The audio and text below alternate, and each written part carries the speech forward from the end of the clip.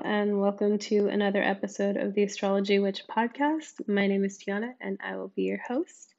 And if you're here again, thanks so much for listening in. I appreciate it.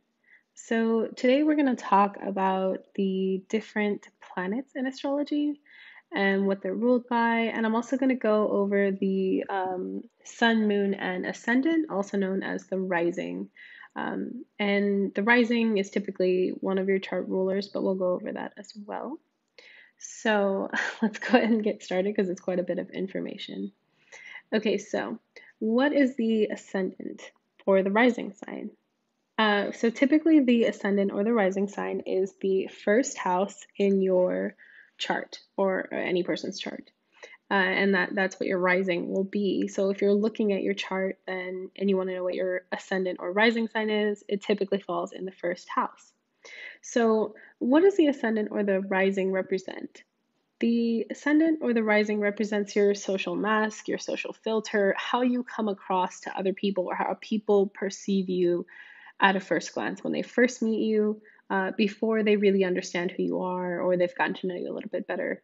Um, it's sort of like looking through a window at you if you were inside of the window and the window was your ascendant. Um, so, uh, it, it, one of the things about the ascendant is that oftentimes, since this is what people think about you at first glance, um, and it might even be, if it's a strong enough influence, what uh, you identify with the most.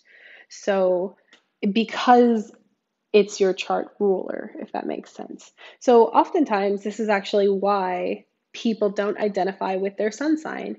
Uh, because they have a very strong chart ruler, because they have a stellium in a, a, we'll go over what that is. It's essentially a, a bunch of planets in one sign or in one house. Um, and that can affect how you feel about yourself like what kind of personality you have. And if your sun's in one house then you have a bunch of other planets in another house well you'd feel totally different. Okay so chart ruler. The chart ruler is the planet that rules the ascendant sign. And we're going to go over planets and what rules them as we go through each planet so i don't want to go through that just yet. But the ascendant kind of gives us an idea of how to organize um, a personality because the rising sign it gives everyone a sort of center from which they radiate out okay? Uh, and the ruler of the ascendant it takes that centering of a personality by giving us an idea of identity overall which would be a the main influences would be a mix of your ascendant your rising your sun and your moon. Those are going to be the biggest strongest uh, influences in your chart. And so uh, you can see that if somebody, for instance, has an Aries rising, but maybe they're a Libra, they're going to come off a lot more direct and aggressive. They might not come off as a Libra because Aries is actually the opposite sign to Libra. Um, and they're sort of polar opposites in terms of their approach. So even though yes you're a libra you might read your, typical cosmopolitan um, horoscope and be like that's not me at all because you have an aries rising. So let's talk about planet rulers. So aries is ruled by mars and mars is the planet of war essentially. Uh, but it's also the planet of like ambition and passion and energy. Taurus is ruled by venus. Gemini is ruled by mercury Cancer is ruled by the moon, Leo is ruled by the sun, Virgo is ruled by Mercury, Libra is ruled by Venus, Scorpio is traditionally Mars, but uh, nowadays, if you're a more modern astrologist, they're ruled by Pluto. Sagittarius is ruled by Jupiter. Capricorn is ruled by Saturn. Aquarius, old the OG ruler is Saturn, but the new ruler is Uranus. And Pisces, the OG ruler is Jupiter, but the new ruler is Neptune. So those are the planet rulers for each sign. And we're going to go through the different planets, as I said, so you can understand kind of what that means for you if you're a Virgo and you're ruled by Mercury. Well, what does Mercury represent? Okay, so let's go ahead and start with the planets because it's quite a bit of stuff to go through. So we're going to start with Mercury. Mercury is the messenger of the gods in uh, Roman mythology. And so they rule all the things that rule messages like communication, intelligence, data, um, talking, teaching, writing, any kind of communication, listening, learning, reading, observing, critical thinking skills, uh, the reception of information. They're oh, to essentially absorb all the information. So if you're a Virgo, you are the analyzer, the critical thinker, the um, the person that can take in all the details when it comes to information and sort of organize those things in a very critical um, fashion. If you're a Gemini, uh, they say that Geminis are gifted with the gift of gab or the you know they're talkers they often get painted as gossips as stereotypes and it's because they understand how to sort of take all this information in a bunch of different topics and sort of spit it back out again um, but it, that's not to say that they're not just as intelligent as a virgo they just might not be as organized depending on what else is in their chart okay so then we have venus and venus is the goddess of love and peace and the arts a bunch of other things as well. Uh, but those are the main ones that kind of get stereotyped for. Um, and also, honestly, I would say of like jealousy and lust and passion, those things. Uh, but, you know, the function of this, if you're a Taurus or say a Libra, would be like the inner peace or calm, um, stability, support, um, emotional relation not relationships but emotional bonds that we form right like like romance or friendship uh, the development of making aesthetics uh, is kind of the it plays into that that aesthetic love or the arts or balance okay and this kind of plays into taurus and libra right because taurus is that sort of like that natural romance, that love of creativity in the arts, um, but it's also that possessive, kind of jealous love as well, in like a more toxic, unevolved light.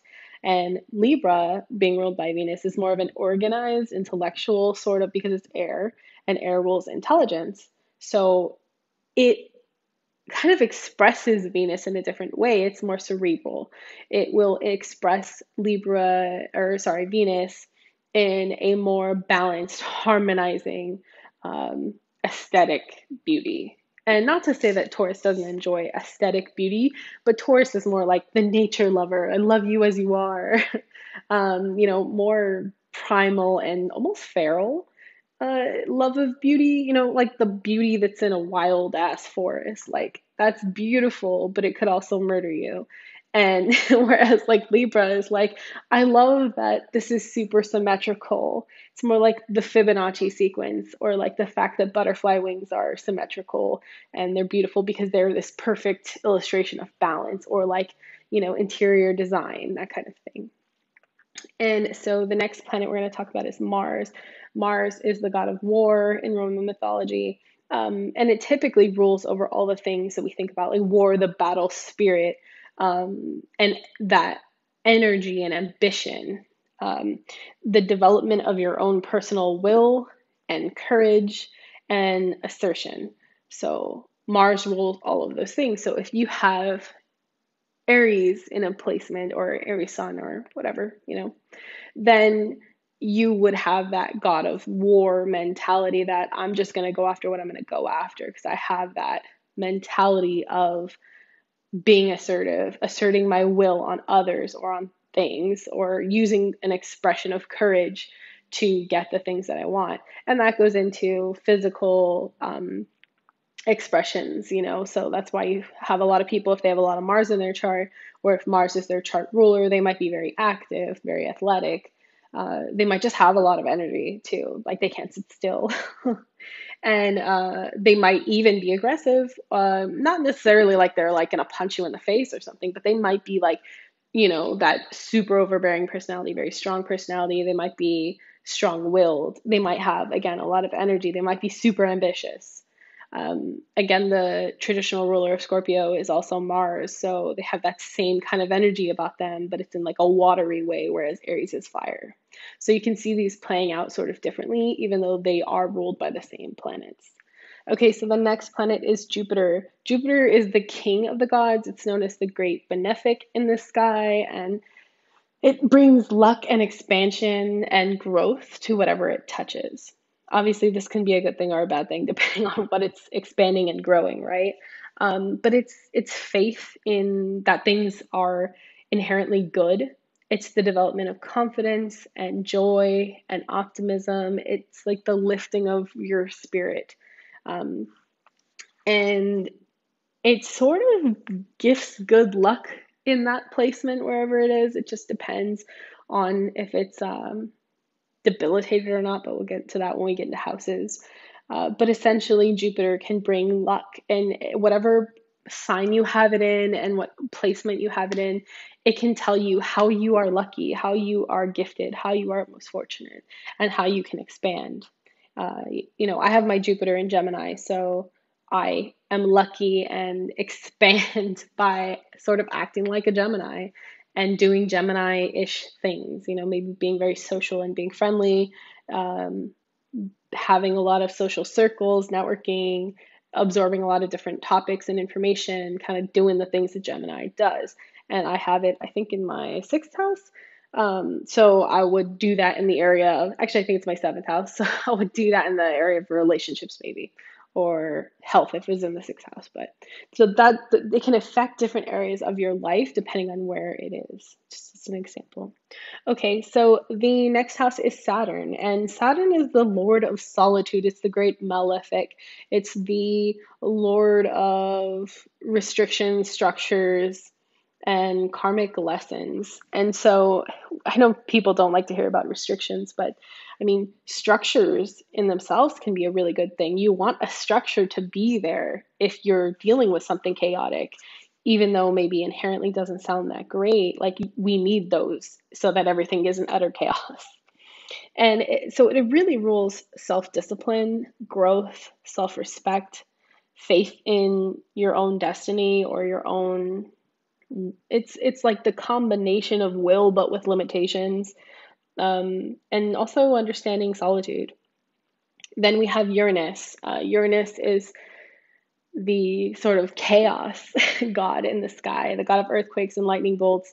Um, it's quick cha- it rules quick change and sort of yeah chaos and unpredictability. It's the development of your individuality and your own unique spirit, the truest, most authentic version of yourself, and the capacity to question authority and structure and understanding like it's like a higher wisdom uh, in fact it's the higher octave of um, neptune i want to say um, okay so then we're going to move on to Neptune.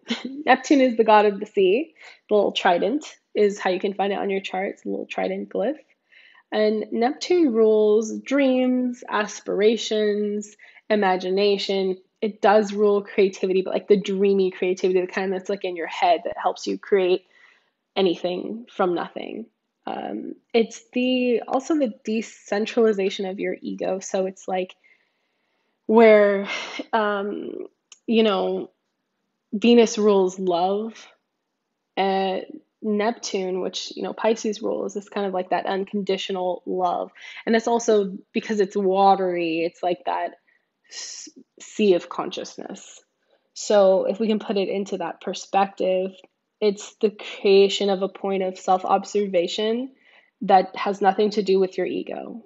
It's like objectively seeing yourself without having to think about your own ego. Um, and it's it's you know breaking down barriers, whereas Saturn builds barriers and separates things into strict constructed categories. Neptune is like the dissolving of everything and understanding that we're all connected and that everything is connected. And your ego means nothing and your soul is this and you're on this higher plane of awareness. And so it's the development of an awareness of a higher power or God or spirit or gods or whatever you believe in.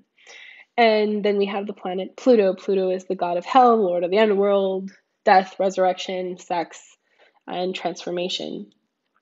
It can be the realization of somebody's desti- destiny. Excuse me.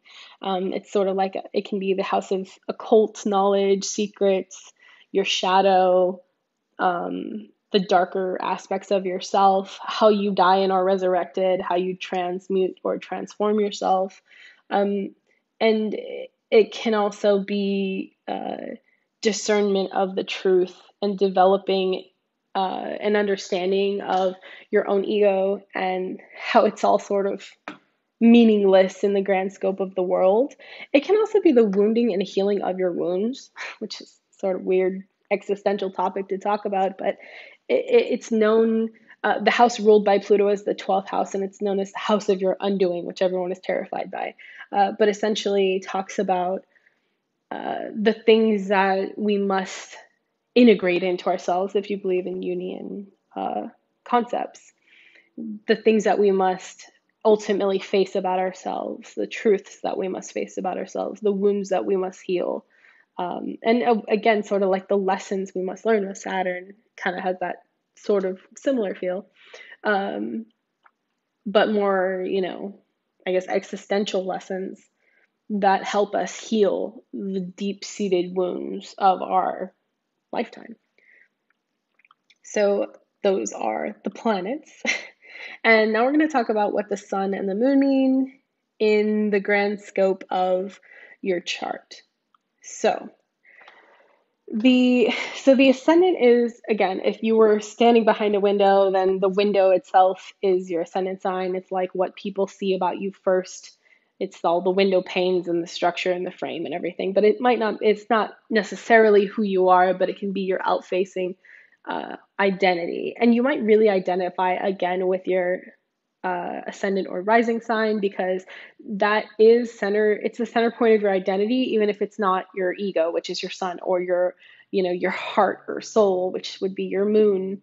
Um, those things kind of ground your entire chart because they're going to be the three strongest influences of your chart and the ascendant again would be like the superficial layer of your personality and then everything underneath your sun and moon and all the other planets would kind of bring everything together. Um, so the moon sign, actually, let's start with the sun. I lied. Okay, so this sun sign, your sun sign really talks about your ego and how it's like your your heart identity, who you really are. And it is also sort of the ego identity. It's um how you identify yourself, even if other people don't see that about you, or maybe only people who know you very well will see those things about you. And the moon, on the flip side of that, is your heart, your soul, your feelings, your emotions. It might not even be things that people see about you. Um, and it's not objective reality, it's subjective reality because it's your emotions, it's how you feel about things.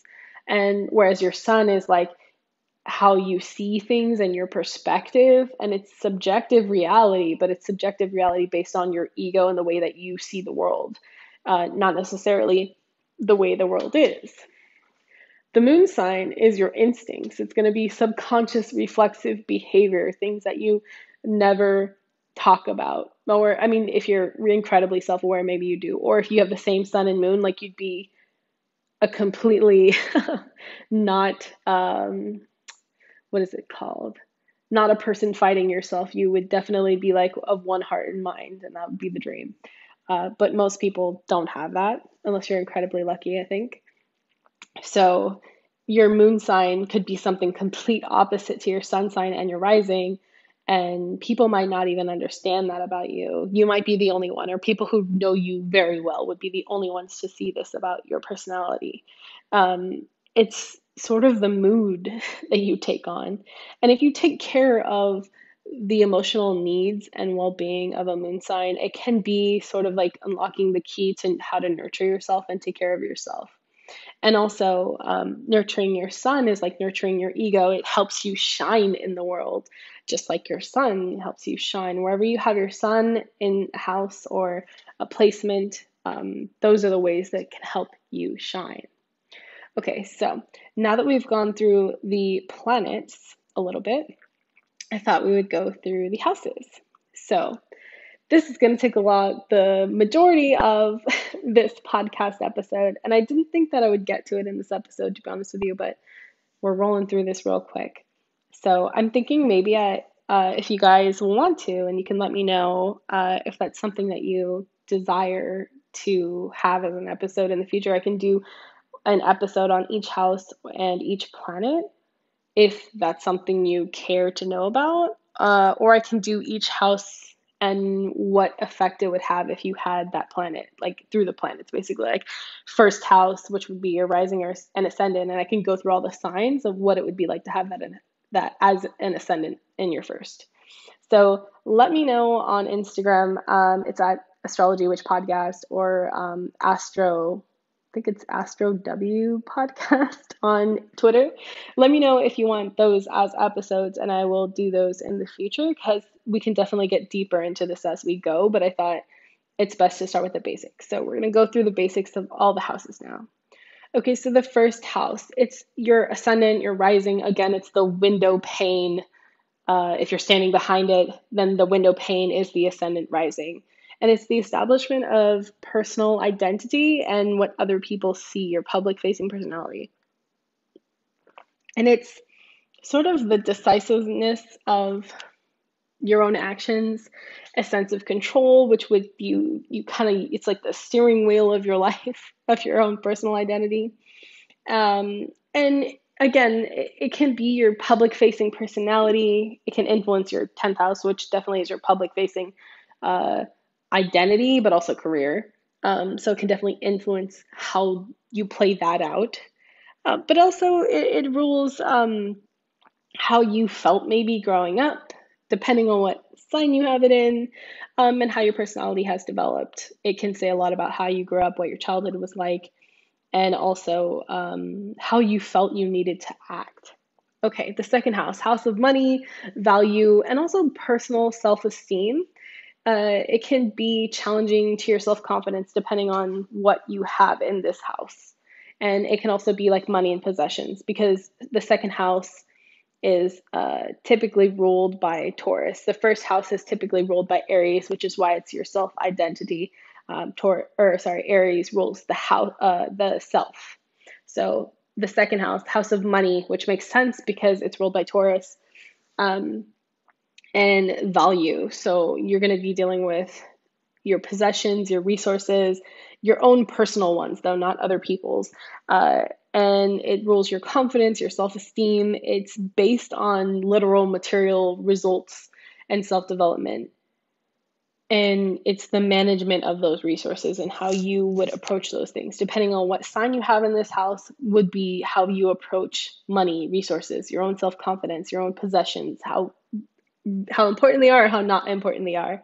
Um, and it can also lead to like materialism or equating self-worth with, with with how much you have how many possessions you have how much money you have uh, it can lead to a lack of self-respect or a fear of risk.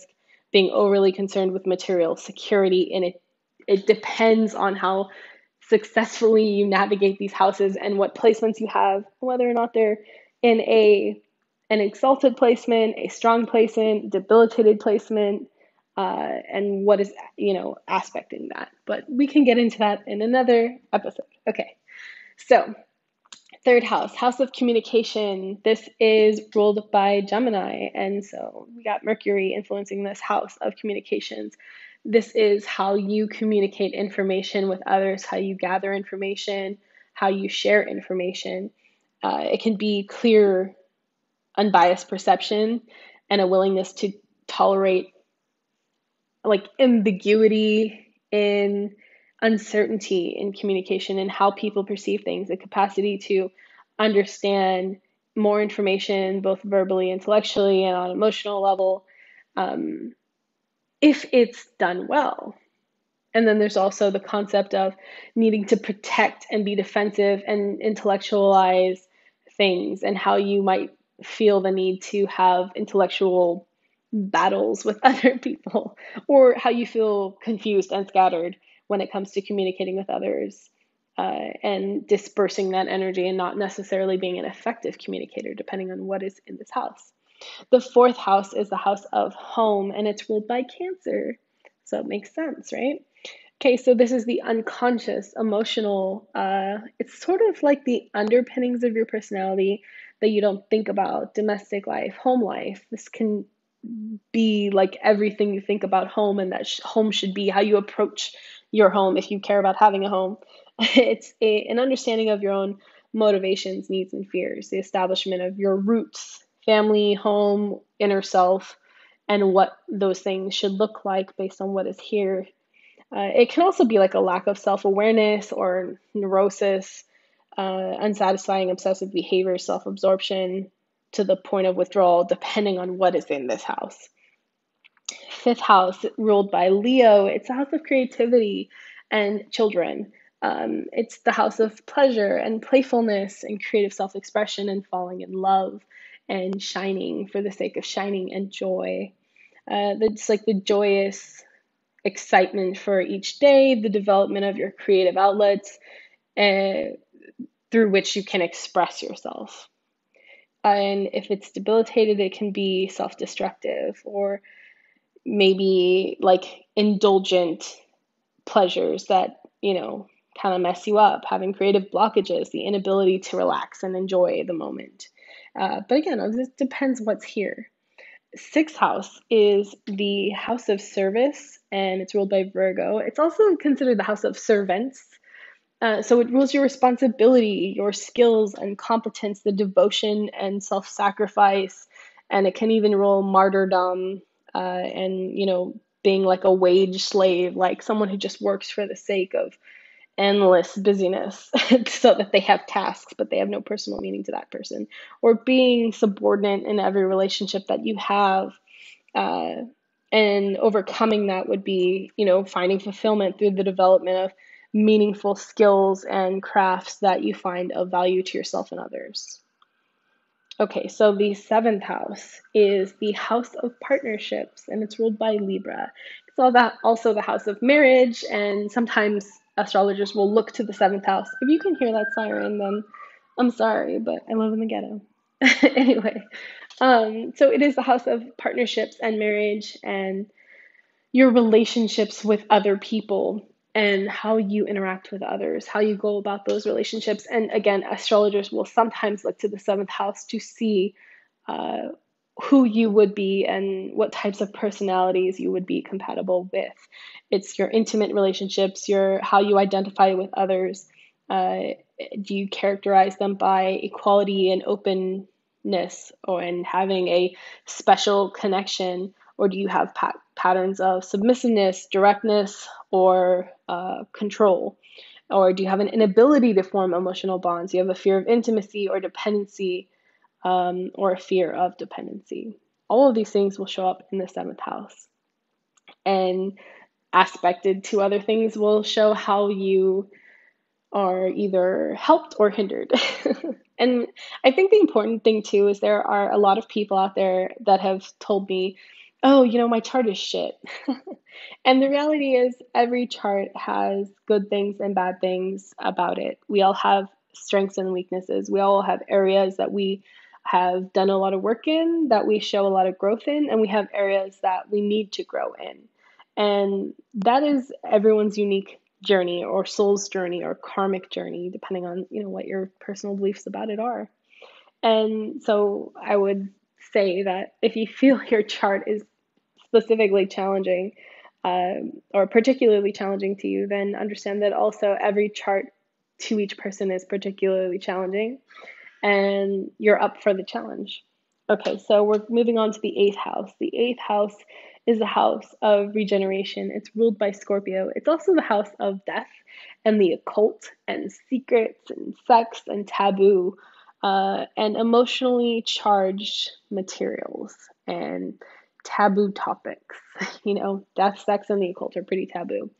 In a healthy uh, situation, it would be spontaneous sexuality, um, passion, the acceptance of death, and integrating that with it being a fact of life, and the sense of immortality of a person's consciousness, magic, and uh, also unsuccessfully integrated would be block sexuality, obsessive sexuality, a fear of death or denial of death, rigid denial of religion or the occult or mystical magical feelings.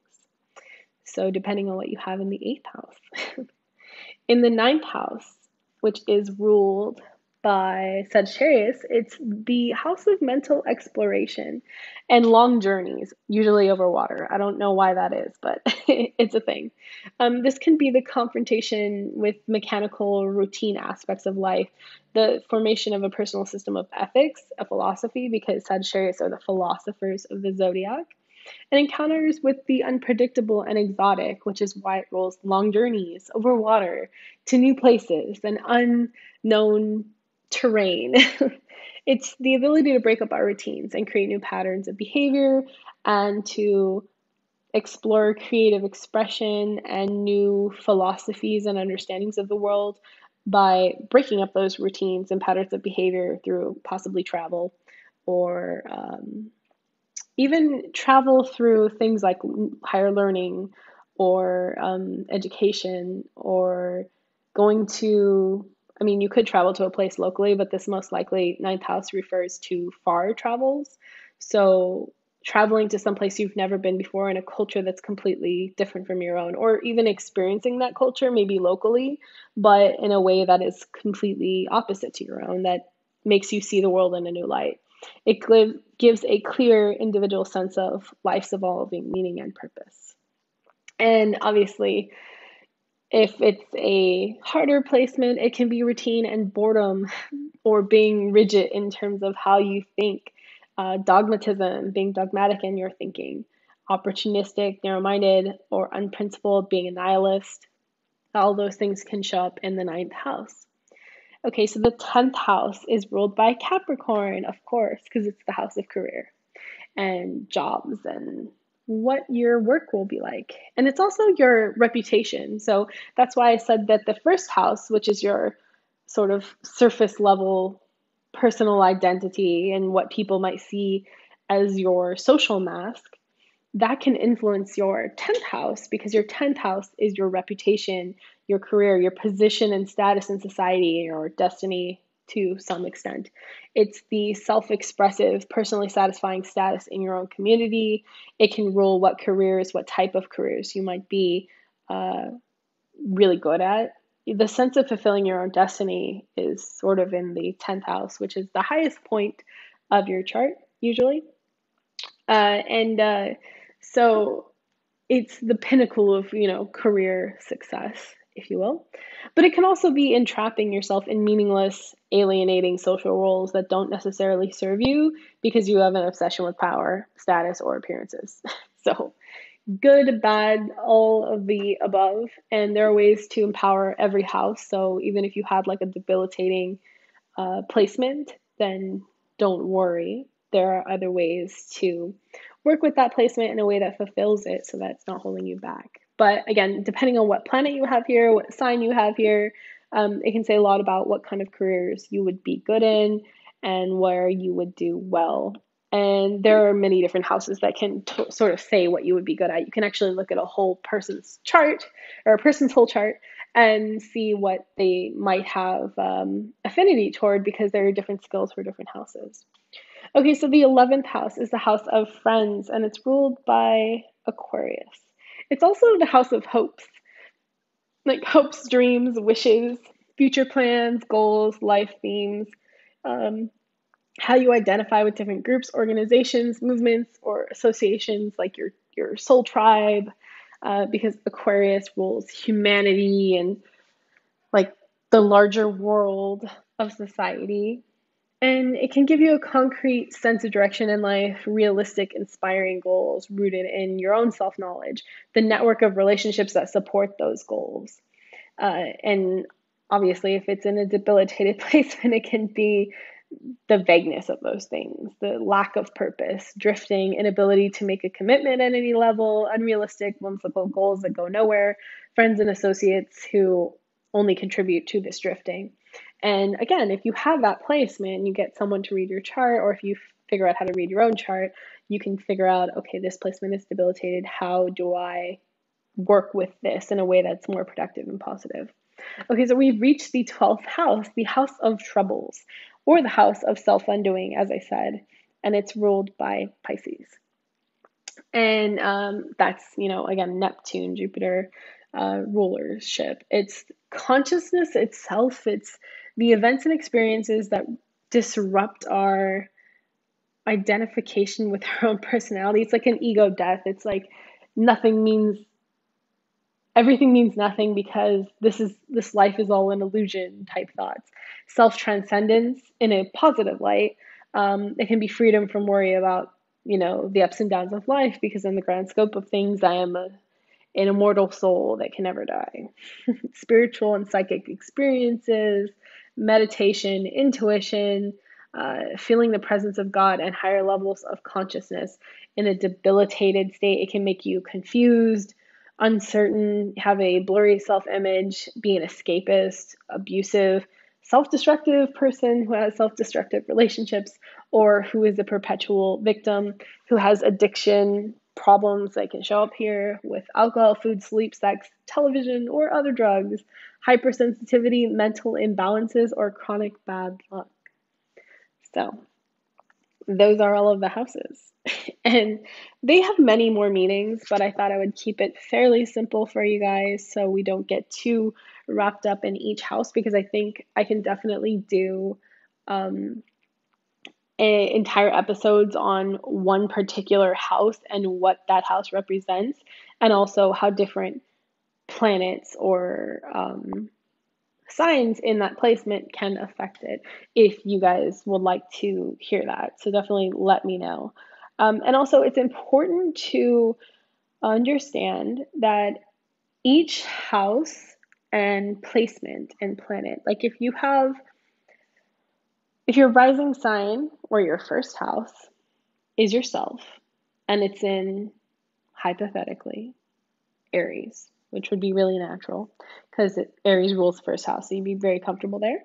Uh, if that rules your first house, then if it also depends, this is why degrees are important. So once you understand the basics, then degrees will become more important because you'll understand that if it's at a certain level of degree, if it's a very high degree, meaning like 29 degrees or whatever, which is the highest degree it could be, the, the most authentic of that sign, the most that sign that it could be, um, then it will bleed into the other house. So you might be in Aries rising with Taurus in the second house, but uh, which would be supernatural placement.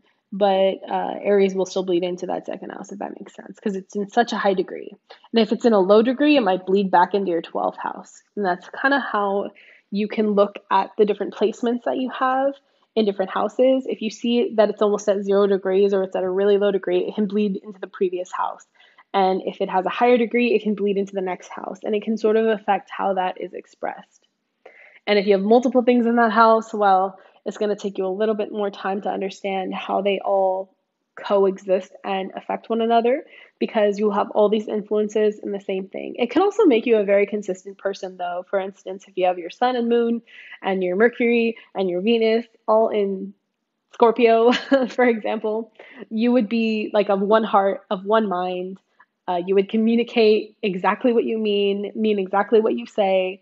Uh, and maybe not if you're a Scorpio, uh, you'd be hiding that shit. But you know, whatever you did actually say, you would definitely mean, uh, and you wouldn't have conflict within yourself, and you wouldn't be saying things that you don't necessarily think, and you would communicate exactly the way that you think and the way that you feel, and love the exact same way that you think, feel, and communicate, which would be wild.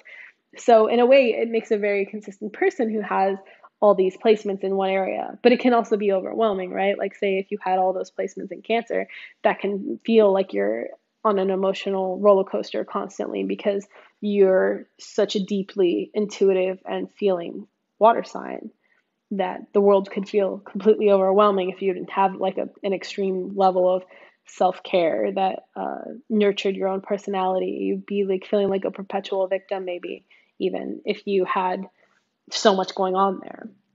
So, those are the different ways in which your house placements and planets can sort of affect the different aspects of a person's personality, the person's chart. And you'll notice that there are certain dominant rulers other than the first house. Uh, again, if you had a bunch of planets in one house, in one planet, one sign, um, then you would notice that you have a lot of heavy influences in certain areas. And then other areas where you have nothing, either it's going to be a lot simpler, a lot more complicated. You might feel like there's nothing going on there for you. Maybe you're like, you know, you got three major themes in your life or attitudes of how your personality plays out in life. And, you know, those are the different ways that it can play out in a person's natal chart. So, this episode is obviously going to be a little bit shorter than my previous episode, which went through every single sign. Um, but I wanted to give you all an idea of just the quick breakdown of what the houses are about, you know, on a vague stance and a positive and negative, depending on what's there, and a quick breakdown of all the planets and what the meanings are, and again, what they essentially can represent on a very simple surface level so that we can all start getting an idea of what they represent if you're new to astrology. So I hope that you guys found this helpful. And if you did, please let me know on Instagram at astrology witch podcast or on Twitter at Astro W podcast. I will put it in the uh, description for you guys because it's a new Twitter account and I couldn't remember like exactly what it was. I think the one that I wanted was taken. Um, but I will link it down below if you guys want to chat to me or shoot me a DM or something or tweet me. That would be amazing and it'd be very helpful to hear from you what you're interested in learning about when it comes to astrology because I love talking about it. Um, and it'd be great if I could get your input. And I think at some point too, it would be cool to do a an episode about um, relationship compatibility, not just for romance, but also for friendship. So if you're interested in that, I think that would be a cool episode to do.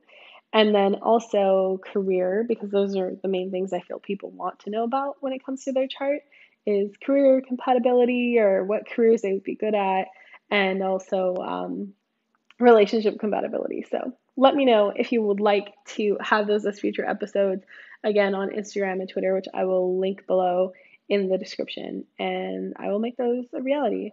I hope you guys are doing well. And I hope you're having a very good day wherever you are, or night wherever you are. It's like evening where I'm at. so hopefully you found this helpful. And if you did, again, please let me know your feedback. I really appreciate it. And I will see you in the next episode. Thanks so much for listening, and I'll see you next time.